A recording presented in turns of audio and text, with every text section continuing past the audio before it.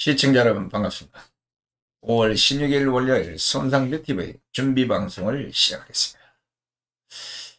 자 이제 1TV가 재가동되니까 한 4천명에서 5천명에 이제 육박하는 시청률이 나타나고 있습니다. 여러분 적극적인 홍해 감사합니다. 빨리빨리 되도록 하시기 바랍니다. 오늘이 여러분 아시는 5월 16일 5.16 61주년인데 윤석열 정부도 정치권도 언론도 모두 조용합니다. 반면 내일 모레 5.18은 윤석열 대통령이 참석을 한다고 난리고 강주 가는데 장관 수석도 동행하고 국민의힘 의원들도 함께 가자고 했다느니 온갖 소리들이 들립니다. 솔직히 열받는 소식만 전해오는 하루였습니다. 나라가 어떻게 이 모양이 꼴이 됐는지 정은이가 제정신이 아닐 때 미사일 몇 방이라도 갈겨서 국회의원들이나 권력자들이 정신을 번쩍 차리게 했으면 좋겠다는 생각까지 해봅니다.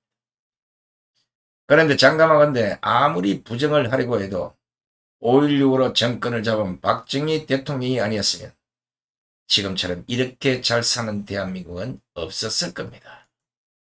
어디서 지금 배에 기름기 낀 이런 행동들을 할 수 있습니까?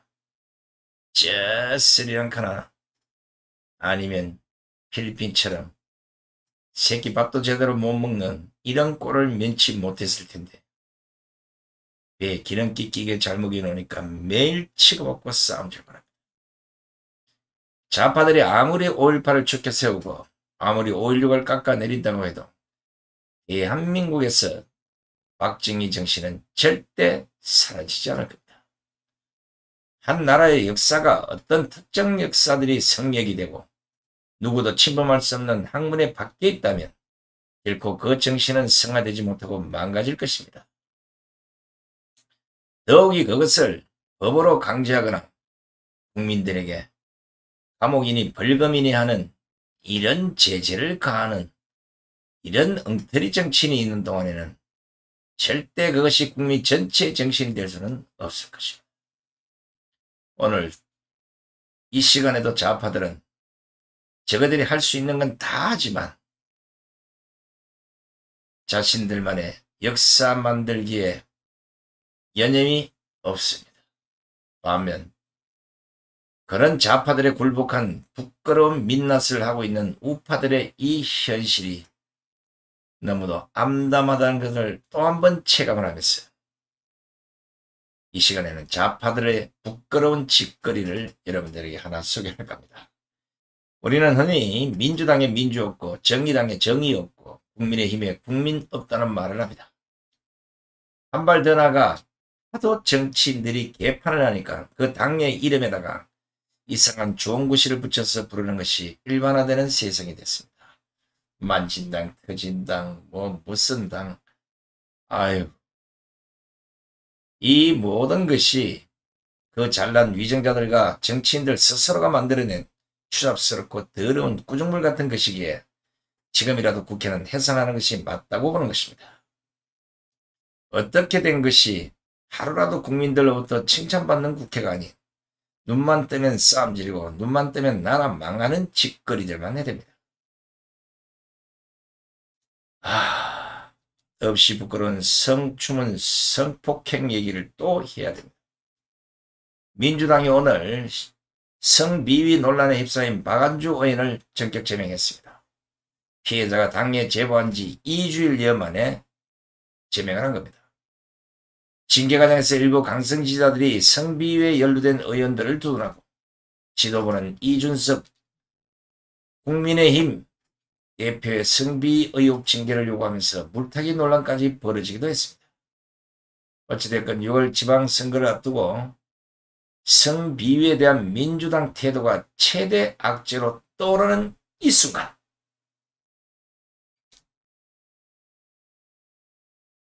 정의당에도 한방 터졌습니다. 이런 민주당의 박안주 성비 사건과 관련해 정의당은 지난 12일 윤호중, 박지원 비대위원장을 포함해 당 차원의 공식 사과를 요구한 바 있습니다.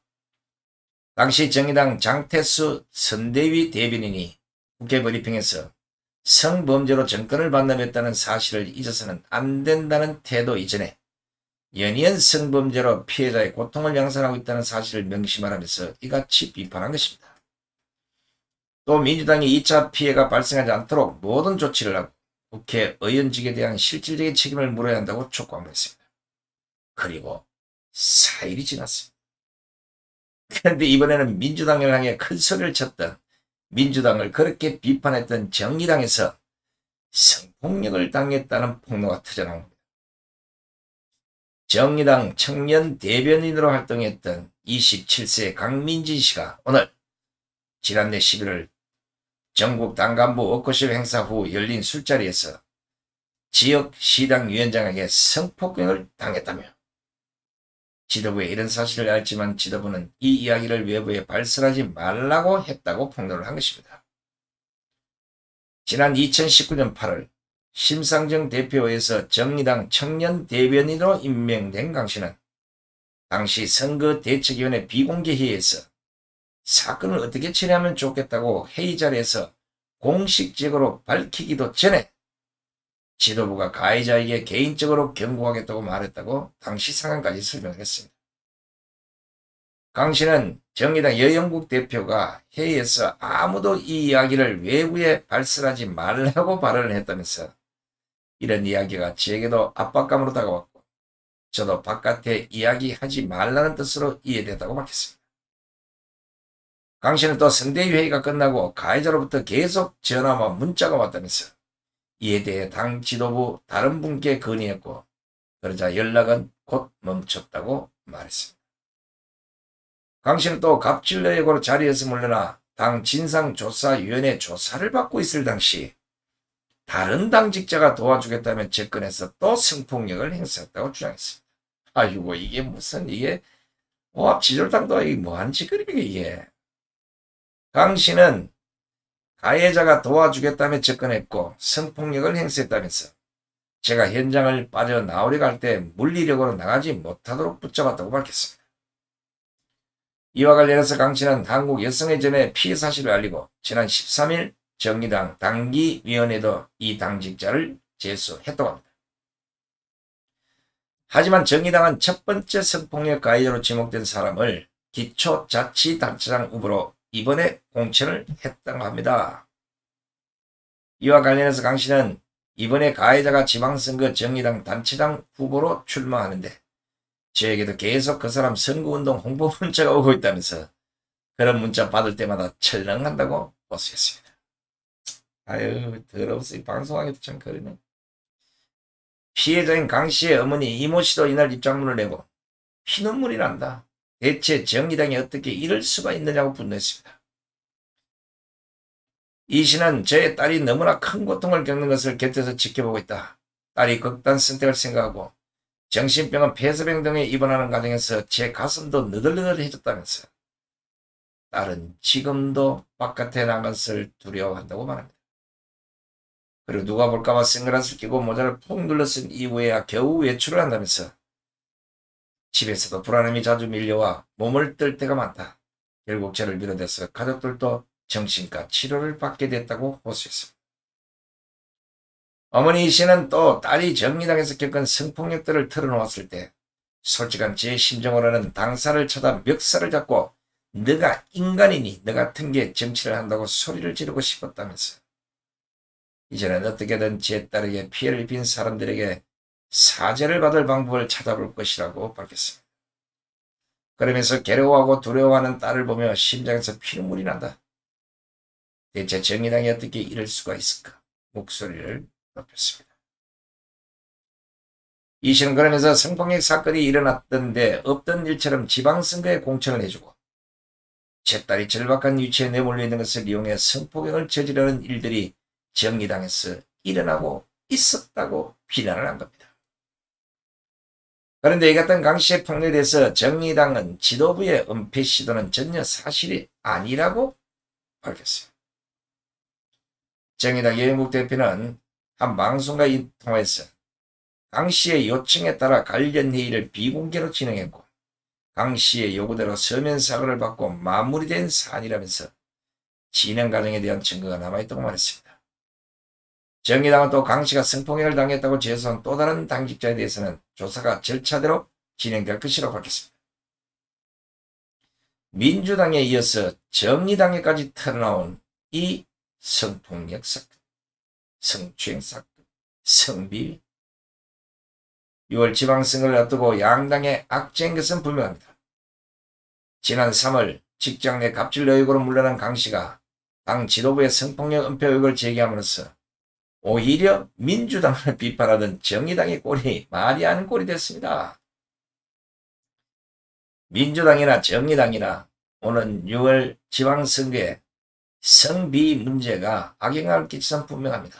그런데 여러분 알다시피 세상을 떠들썩하게 했던 안민석, 오고돈, 박원순에 이어서 박안주로 이어지고 다시 정의당까지 이거 도대체 좌파들은 이거 어떤 생각을 갖고 있길래 이 선과 관련된 걸, 이 진짜 성인지 교육이 중요한 게 아니라 성이 너무 물나는 거 아닙니까, 이것들.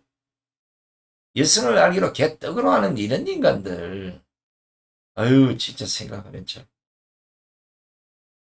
반대로 생각을 하면 국민의힘은 6월 선거를 앞두고 호재를 만난 격입니다. 그런데 국민의힘에는 잘 싸우는 투사가 없는 탓에 이 좋은 호재를 제대로 여론전도 펼치지 못하고 반대로 청문회나 뭐 이런 것 때문에 야당에 질질 끌려가는 행국입니다. 그럴 이유도 있습니다. 이 모든 것이 우리가 그만큼 이준석이를 빨리 쳐내야 된다. 이준석이 두고 있으면 큰 나중에 악재가 될 것이다. 딱 그때가 돼버렸어요. 성상납으로 경찰에 고발된 이준석 때문에 아무 말을 못하고 있는 겁니다.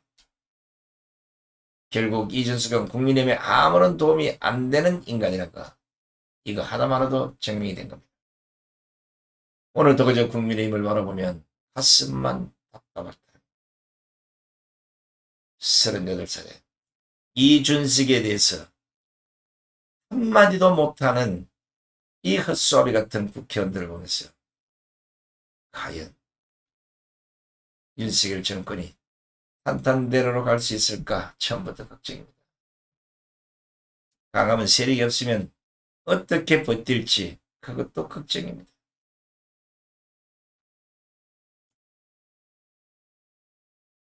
이준석이가 당대표가 된 이후에 과연 국민의힘이 우파정당인지